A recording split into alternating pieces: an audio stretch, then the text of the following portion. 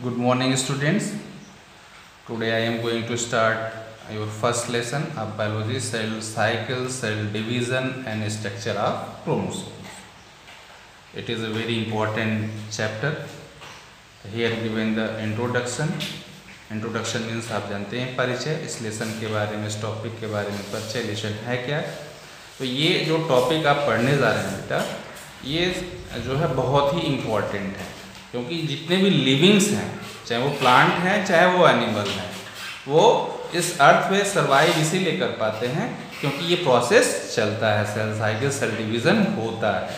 चाहे वो simplest amoeba paramecium bacteria जितने भी हैं, उस, वो उस, उसमें भी होता है और जो कॉम्प्लेक्स हैं, चाहे वो प्लांट्स हो बड़े बड़े प्लांट्स हों, चाहे ह्यूमंस बींग्स हों चाहे वो एलिफेंट हो, जो ब्लू वेल हो, चाहे डॉग हो, कैट हो, फ़िश हो, सब में ये प्रोसेस चलता है, जिसके कारण ये सारे लिविंग्स जो हैं, इस पृथ्वी पे सरवाइव कर रहे हैं लाखों सालों से।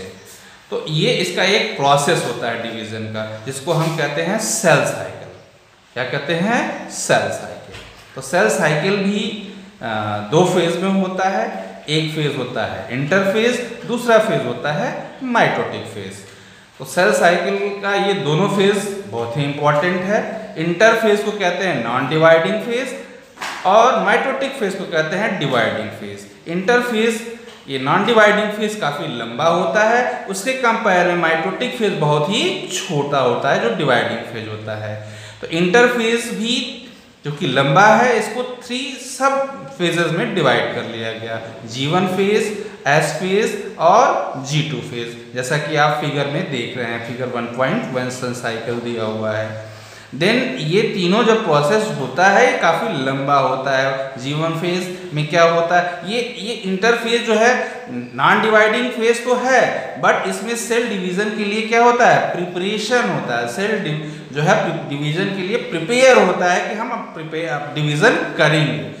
तो डिवीज़न के लिए जो प्रिपरेशन की अवस्था है, वो इंटरफेज अवस्था कहलाती है। लेकिन उसको कहते हैं जिसको डिवीज़न नहीं होता बायोलॉजिकल सारे प्रोसेस तो होते हैं, लेकिन डिवाइड नहीं होता है। इसलिए तो नॉन डिवाइडिंग फ़ेज़ कहते हैं। बट सारे बायोलॉजिकल प्रोसेस इसमें चलते रहते हैं। इसको तीन पार्ट में डिवाइड कर लिया जीवन फ़ेज़ जिसमें जो है इंटरनल ग्रोथ होता है और प्री डीएनए सिंथेसिस भी होता है। फिर जी टू फ़ेज़ में जो है डीएनए सिंथेसिस रिप्लिकेशन होता है, जो अपना अपना अपना डुप्लीकेट बनाता है संख्या बढ़ाता है, जिससे सेल की वैल्यूम बढ़ती है। फिर क्या होता है? जी टू फ़ेज़ इसमें भी सिंथेसिस इसमें भी वही प्रोसेस होता है ग्रोथ और भी वैल्यूम बढ़ती है न्यूक्लियस का भी और साइटोप्लाज्म का भी। तो इस तरह से ये सेल जो है प्रिपेयर हो जाता है जीवन फ़ेज़ एस फ़ेज़ और जी टू फ़ेज़ में ये प्रिपेयर हो जाता है डिवीज़न के लिए। अब फाइनली जो है, अब ये डिवाइड के लिए डिवीज़न के लिए प्रिपेयर है। अब तब जब डिवीज़न के लिए प्रिपेयर हो गया, तब किस फ़ेज़ में आता है?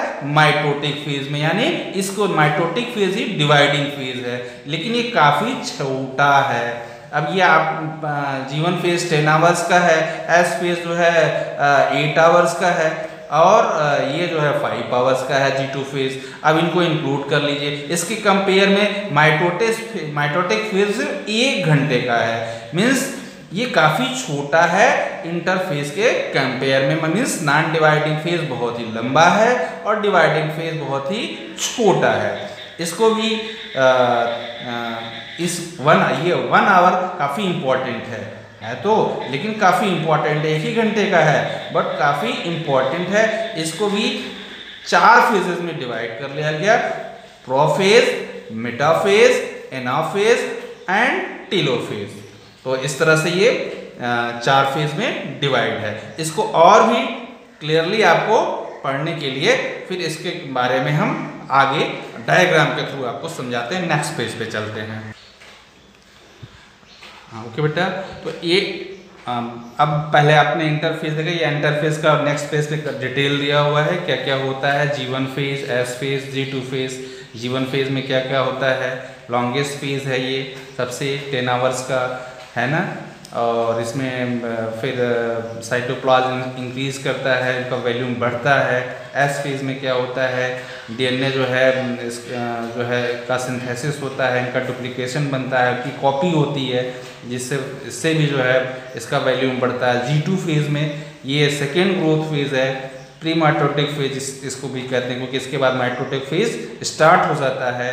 देन इसमें क्या होता है ये this is the sorted growth phase मतलब सिर्फ़ ये जो है ग्रोथ फ़ेज़ जो है, ये तीन फ़ेज़ में तो ये सबसे छोटे पाँच घंटे का सिर्फ़ होता है और इसमें जो है डीएनए का सिंथेसिस स्टॉप हो जाता है, रुक जाता है और आरएनए और प्रोटीन का सिंथेसिस होता रहता है, जो ज़रूरी चीज़ें हैं।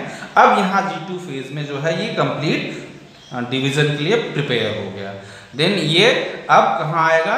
अब अगले स्टेप में जाएगा dividing phase means mitotic phase में। तो माइटोटिक फ़ेज़ जो है बेटा, आप बहुत ही इंपॉर्टेंट फ़ेज़ है। ये सिर्फ़ एक घंटे का होता है माइटोटिक फ़ेज़ आप इसको हम फिगर के थ्रू आपको क्लियर करते हैं। डायग्राम के थ्रू आपको हम क्लियर करते हैं। डायग्राम के थ्रू आप देख सकते हैं कि ये जो है इंटरफेज के बाद अब क्या आता है? डिवाइडिंग फ़ेज़ जब शुरू होता है इंटरफेज के बाद डिवाइडिंग फ़ेज़ क्या है? डिवाइडिंग फ़ेज़ में पहला फ़ेज़ है, हमने जैसा कि बताया था प्रोफेज तो ये प्रोफेज भी यहाँ पे तीन सब फ़ेज़ में डिवाइड है. A early prophase B mid prophase और C late prophase early prophase में क्या है? अर्ली प्रोफेज में आप देख रहे हैं ये आप सेंट्रो सेंट्रो सोम सेंट्रोमेयर के बारे में आप तो जानते ही हैं सेंट्रो सेंट्रोसोम होता है। सेंट्रोसोम क्या होता है? ये जो है सेल डिवीज़न के लिए क्या होता है? रिस्पॉन्सिबल होता है। और ये सेंट्रोसोम टूट जाता है पहले अर्ली प्रोफेज में। टूट के टूट के टूट के टो दोनों पोल की तरफ़ जाने लगता है। और क्रोमोसोम्स स्पष्ट अब दिखाई देने लगते हैं। इसमें थ्रेड अब जो है यहाँ पे स्पष्ट दिखाई देने लगते हैं। फिर अर्ली प्रोफेज के बाद अब आता है मिड प्रोफेज में।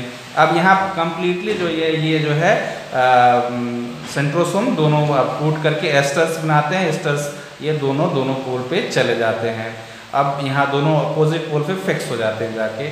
और ये जो ये न्यूक्लियस है, ये क्या होने लगता है? न्यूक्लियस जो है बीच में जो इस, जो न्यूक्लियस के अंदर आप जानते हैं, क्रोमोसोम्स पाए जाते हैं। ये छोटे होते हैं मतलब शॉर्ट होते हैं, लेकिन जब छोटे होंगे तो मोटे होंगे, छोटे भी होते हैं और मोटे भी होते हैं। तो ये फिर जो है धीरे धीरे जो है, ये न्यूक्लियस भी अब धीरे धीरे डिसअपियर होना शुरू हो जाता है यहीं पे। अब न्यूक्लियस गायब होने लगता है, न्यूक्लियस का का जो मेम्ब्रेन है, ये धीरे धीरे डिसअपियर होना शुरू हो जाता है और लेट प्रोफेज में जाते जाते वो डिसअपियर हो जाता है। मीन्स यहाँ पे न्यूक्लियस दिखाई नहीं दिखाई नहीं देता। यहीं पे न्यूक्लियोलस भी डिपेयर हो जाता है और न्यूक्लियस मेम्ब्रेन भी डिसअपियर हो जाता है। देन आप, आप आ जाते हैं लेट प्रोफेज में। लेट प्रोफेज में क्या होता है? ये कम्प्लीटली हम्म, डिसअपियर हो जाता है। तो फिर इसके बाद आ जाता है मिटाफेज अवस्था। मिटाफेज अवस्था में क्या आता है? मेटाफेज अवस्था केवल एक ही है, इसमें कोई सल स्टेज नहीं है। इसमें क्या होता है? अब ये जो है एस्टर्स जो है दो पोल पर फिक्स हो जाते हैं और ये प्लेट बना लेते हैं, जिसको हम स्पेंडल कहते हैं। क्या कहते हैं? स्पेंडल ये पूरा एक दूसरे से जुड़ जाते हैं और इसी पे आके एक सीक्वेंस में जो है ये क्रोमोसोम फिक्स हो जाते हैं। किसको उसके थ्रू सेंट्रोमियर जैसा सेंट्रोमियर के थ्रू ये जुड़े होते हैं। ये सेंट्रोमियर के थ्रू ये क्या होते हैं? जुड़े होते हैं। कौन? क्रोमोसोम्स एक दूसरे पे एक फिक्स एंगल पे ये जुड़े होते हैं सेंटर में। इसको इसी के ये एक प्लेट पे प्लेट जैसे रचना में फिक्स हो जाते हैं। इसको क्या कहते हैं? मिटाफेज प्लेट ये। इस, इसी को कहते हैं मेटाफेज प्लेट कहते हैं। फिर ये प्रोसेस पूरा हो जाता है मेटाफेज में दर फिर एनाफेज में आ जाता है। एनाफेज भी टू पार्ट में डिवाइज है अर्ली और लेट अर्ली एनाफेज और लेट एनाफेज अब आप जैसे जानते हैं कि ये जो है सेंट्रोमियर के थ्रू जुड़े होते हैं। क्रोमोसोम किसके थ्रू जुड़े होते हैं? सेंट्रोमियर के थ्रू सेंट्रोमियर के थ्रू ये जुड़े होते हैं। इसके क्रोमैटिड्स तो ये स्प्लिट आउट कर जाते हैं, टूट जाते हैं। अब ये क्रोमोसोम्स अपने डॉटर क्रोमोसोम्स में स्प्लिट हो जाते हैं, आधे आधे। यानी आप ह्यूमन के ह्यूमन में सेल्स में अगर आप कंपेयर करें तो ह्यूमन सेल्स में कितने क्रोमोसोम होते हैं बेटा? वेरी गुड 46 होते हैं। तो ये 46 आपस में डिवाइड हो जाते हैं। और 46 एक तरफ़, ये 46 आधे आधे टूटेंगे तो एक तरफ़ 46 और एक तरफ़ 46 अब ये दोनों दो, दोनों के स्पेंडल फाइबर के थ्रू होते हुए ये फिर कहाँ जाते हैं? दोनों कोष की तरफ़ धीरे धीरे सरकने लगते हैं और ये फिर नेक्स्ट फ़ेज़ में चले जाते हैं, लेट एना फ़ेज़ में और पूरी तरह से ये सरक जाते हैं। अब ये जो है 46 एक तरफ़ 46 एक तरफ़। देन फिर अगला फिर स्टेप आ जाता है अर्ली इंड अवस्था आ जाती है अर्ली अर्ली टेलोफेज और फिर अर्ली के बाद फिर लेट टीलोफेज अर्ली टीलोफेज में क्या होता है?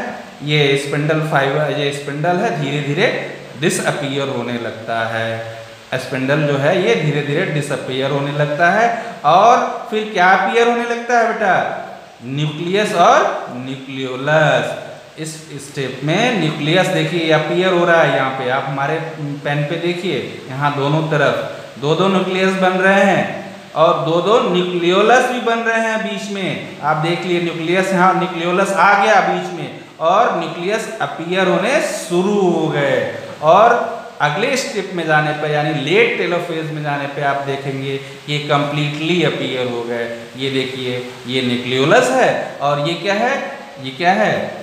ये जो है न्यूक्लियस का मेम्ब्रेन है। और इसके अंदर ये धागे में रचना दिख रही है। ये क्या है? क्रोमोसोम, यानी 50 46 क्रोमोसोम्स ह्यूमंस में इधर आ गए ह्यूमनसंस में, और 46 इधर आ गए। अब यहाँ पे ये ये प्रोसेस जब सेल, ये न्यूक्लियस टू पार्ट में पूरी तरह से डिवाइड हो गया। लेकिन इस प्रोसेस को कहते हैं कैरियोकाइनेसिस। अब ये अर्ली प्रोफेज से अर्ली प्रोफेज से हम आ गए लेट टीलोफेज तक। ये प्रोसेस क्या कहलाती है? कैरियोकाइनेसिस मीन्स न्यूक्लियस का डिवीज़न कहलाता है कैरियोकाइनेसिस और अगला डिवीज़न होता है साइटोकाइनेसिस जिसमें साइटोप्लाज्म डिवाइड होता है। फिर ये ये अगले प्रोसेस के लिए मूव कर जाता है, जहाँ पे सेल मेम्ब्रेन आपस में बीच में आ जाती है और सेल मेम्ब्रेन ये आप, आपस में यहाँ आप देख भी रहे हैं, सेल मेम्ब्रेन यहाँ से दोनों से अलग हो जाती है साइटोप्लास्ट टू पार्ट में अलग हाफ़ हाफ़ में अलग अलग डिवाइड हो जाता है देन ये टू कंप्लीट डॉटर सेल्स में आपको दिखाई दे रहा है। मीन्स एक मदर सेल यहाँ पे ये कंप्लीट प्रोसेस में यहाँ पे टू डॉटर सेल्स में बदल गए। मीन्स ये फिर अब क्या करेगा? ये रुकेगा नहीं। ये फिर जो है अगले प्रोसेस के लिए, यानी कहाँ चला जाएगा अब ये? ये डॉटर सेल कहाँ चले जाएँगे? फिर इंटरफेस के लिए चले जाएँगे। ये प्रोसेस कंटिन्यूस चलता रहेगा। इसी को कहते हैं सेल साइकिल फिर ये डिवीज़न के लिए प्रिपेयर होंगे। फिर ये इंटरफेज में जीवन फ़ेज़ आएगा एस फ़ेज़ आएगा जी टू फ़ेज़ आएगा। फिर ये जो है, इसके बाद फिर ये अर्ली प्रोफेज आएगा। मीन्स ये सारी प्रोसेस फिर कंटिन्यूस चलती रहती है। इसी को कहते हैं सेल साइकिल ओके बेटा? ये सेल साइकिल हो गई। देन इसके बाद आता है आप आप इसी तरह से, ये तो एनिमल सेल्स के बारे में आप देख रहे थे। अब ये, आप देख लीजिए, ये प्लांट सेल में कैसे होता है? प्लांट सेल में जानते हैं किसके थ्रू इसमें क्या नहीं पाया जाता सेंट्रोसोम नहीं पाया जाता तो इसकी जगह क्या पाया जाता है? गोल गोल्गी बॉडी पाया जाता है। ये गोल्गी बॉडी पाया जाता है। गोल्गी बॉडी के हेल्प से इसमें सेल सेल डिवीज़न होता है। आपको पता है सेंट्रोसोम नहीं पाया जाता है किसमें? प्लांट सेल में। केवल एनिमल सेल में पाया जाता है। तो यहाँ पे भी देखिए, अब यहाँ इंटरफेज अवस्था यहाँ दे रहा है। ये इंटरफेज अवस्था है। इंटरफेज अवस्था प्रिपरेशन की अवस्था है। यहाँ प्रिपेयर हो रहा है सेल डिवीज़न के लिए। सेल अभी प्रिपेयर हो रहा है डिवाइड होके आया है तुरंत। तो डिवाइड होके तुरंत आने के बाद कौन सी स्टेज आती है? इंटरफेज यहाँ पे देखिए डिवाइड होके आया। अब फिर डिवीज़न के लिए फिर प्रिपेयर हो गया। तो एक साइकिल यहाँ आपको दिखा रहा है वन साइकिल तो फिर इसके बाद क्या आएगा? अर्ली प्रोफेज अर्ली प्रोफेज में क्या होगा? ये आप क्रोमोसोम्स ये क्या होंगे? धीरे धीरे छोटे होंगे। अब ये दिखाई दिखाई दे रहे हैं। यहाँ धागे के रूप में है। इंटरफेस में, लेकिन यहाँ पे आपको सेपरेट रूप में अलग हो जाएँगे स्प्लिट हो जाएँगे अलग अलग आपको दिखने लगेंगे। यहाँ पे न्यूक्लियोलस आपको दिखाई दे रहा है। देन ये इसके बाद धीरे धीरे इसका फिर अर्ली प्रोफेज के बाद लेट प्रोफेज आएगा। फिर इसमें ये न्यूक्लियस क्या हो जाएगा? डिसअपियर हो जाएगा। न्यूक्लियस भी क्या हो जाएगा? डिसअपियर हो गया। देखिए, अगले स्टेज में नहीं दिख रहा है। और देन और क्या होगा? फिर ये न्यूक्लिय ये क्रोमोसोम्स क्या हो जाएँगे? छोटे होंगे शॉर्ट होंगे। जब शॉर्ट होंगे तो उनका क्या होगा? उनकी मोटाई बढ़ेगी ना तो वो मोटे छोटे होंगे तो मोटे भी होंगे। तो ये प्रोसेस लेट प्रोफेस तक चलता रहता है। फिर धीरे धीरे ये गोल्जी गोल्जी बॉडी हमने बताया ना गोल्गी बॉडी तो गोल्गी बॉडी के थ्रू जो है यहाँ पे क्या बनता है? आ, ये आ, सिस, ये सिस्टर क्रोमेटिक ये स्पिंडल फाइबर्स बनते हैं सॉरी स्पिंडल फाइबर्स बनते हैं। ये स्पेंडल फाइबर्स पे ये आ, ये क्रोमोसोम्स क्या होते हैं? सेट हो जाते हैं। और सेट होके यहाँ भी एक प्लेट नुमा रचना बनाते हैं। एक ये लंबी प्लेट नुमा रचना बनाते हैं और ये फिक्स हो जाते हैं। इस तरह से ये जुड़े किससे होते हैं? सेंट्रोमियर से। किससे जुड़े होते हैं? सेंट्रोमियर से। बीच में एक सेंट्रोमियर होता है ये सेंटर में। ये देखिए, सारे सेंटर में ये सेंट्रोमियर है, ये दोनों से जुड़े हुए जिससे क्रोमेटिड के अलग अलग जुड़े हुए हैं सेंट्रोमियर के थ्रू क्रोमेटेट्स किससे जुड़े हुए हैं? सेंट्रोमियर से जुड़े हुए हैं। अब ये सेंट्रोमियर क्या होता है? डिवाइड हो जाता है। और फिर ये ये स्पिंडल स्पिंडल ये स्पिंडल इसमें भी बना गोल्गी गोल्गी बॉडी के थ्रू तो ये स्पिंडल के थ्रू ये दो पोज पे चले जाते हैं।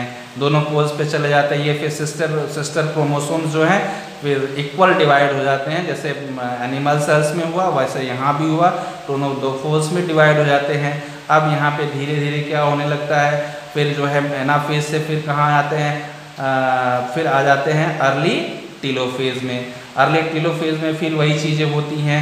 अब यहाँ धीरे धीरे ये डिसअपियर होना शुरू हो जाती हैं। कौन?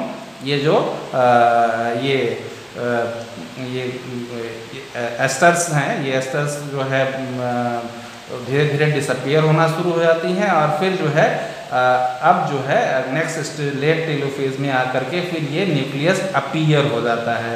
न्यूक्लियस भी और न्यूक्लियोलस भी दोनों अपीयर हो जाते हैं और इस तरह से फिर ये जो है दो पोल में, एक सीक्वेंस में। ये ये यहाँ पर क्या हो गया? यहाँ से लेके यहाँ तक क्या हुआ? कैरियोकाइनेसिस मीन्स एक न्यूक्लियस टू कंप्लीट न्यूक्लियस में डिवाइड हो गए। दोनों नंबर न्यूक्लियस में, जो मदर न्यूक्लियस था नंबर क्रोमोसोम जो उसमें थे, उसी दोनों में हो गए। जितने भी थे, वो उसमें, दोनों उस न्यूक्लियस में नंबर ऑफ़ क्रोमोसोम सेम है। तो फिर क्या हो जाता है? अब यहाँ कैरियोकाइनेसिस का प्रोसेस कंप्लीट हो गया। Early prophase late prophase then metaphase then anaphase then early telophase और लेट टीलोफेज देन इसके बाद क्या हो जाता है? अब साइटोकाइनेसिस का प्रोसेस आता है। अब ये माइटोटिक डिवीज़न दो दो प्रोसेस में पूरा होता है। एक कैरियोकाइनेसिस और दूसरा साइटोकाइनेसिस कैरियोकाइनेसिस में ये इतने सारे प्रोसेस आते हैं।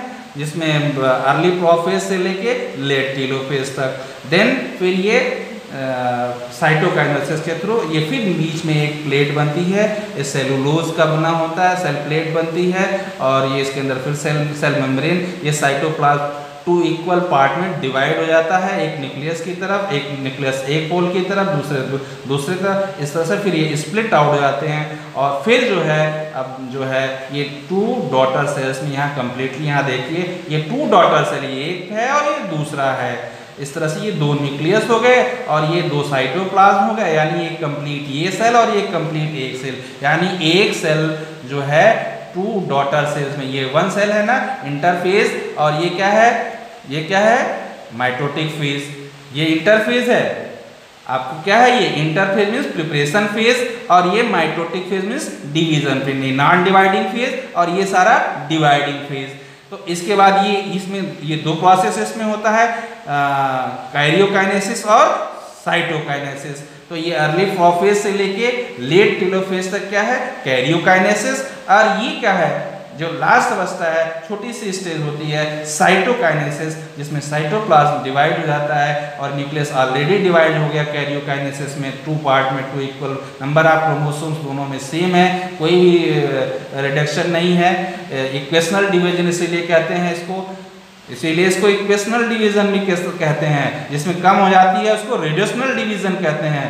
तो ये इक्वेशनल डिवीज़न के थ्रू दो पार्ट में डिवाइड हो गया न्यूक्लियस कैरियोकाइनेसिस के थ्रू फिर साइटोप्लाज्म साइटोकाइनेसिस के थ्रू डिवाइड हो जाता है, और यहाँ बीच में एक प्लेट बन जाती है सेलुलोज और सेल मेम्ब्रेन की, पहले सेलुलोज की बनती है, फिर सेल मेम्ब्रेन की बनती है देन आप जानते हैं सेलुलोज बन, पाया जाता है प्लांट सेल में पहले सेलुलोज सेलुलोज के अंदर cell membrane two equal part में डॉटर सेल में कंप्लीट हो जाता है। फिर ये अगला साइकिल के लिए तैयार हो जाता है। फिर ये कहाँ चला जाता है?